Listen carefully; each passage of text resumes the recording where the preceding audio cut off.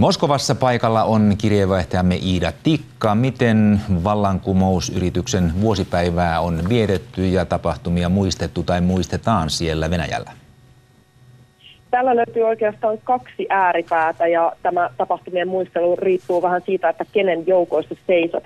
Yhtäältä täällä ei olla järjestämässä minkäänlaisia virallisia tapahtumia, joihin vaikkapa valtionjohto tai presidentti Vladimir Putin osallistuisivat. Myös tälle illalle suunniteltu muistotilaisuus on kielletty, vaikka sitten toisaalta huomenna ja maanantaina sen järjestäminen sallitaan. Toisaalta täällä Moskovassa erilaiset organisaatiot järjestävät omia tapahtumia. Esimerkiksi huomenna täällä on koko päivän erilaisia tapahtumia aiheeseen liittyen. Mistä tämä jakaantuneisuus oikein kertoo?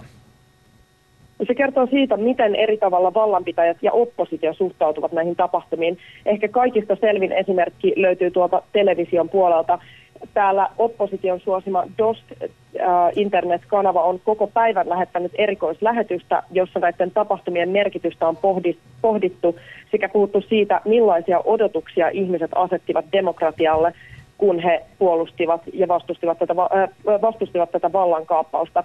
Valtion kanavilla taas aiheesta ei ole puhuttu lähes lainkaan, ja voisi sanoa, että näitä koko tapahtumia on yritetty häivyttää.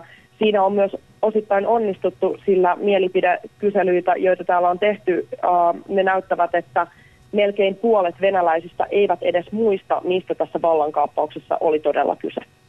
Kiitos Iida. Jatketaan nyt Lähi-Itään.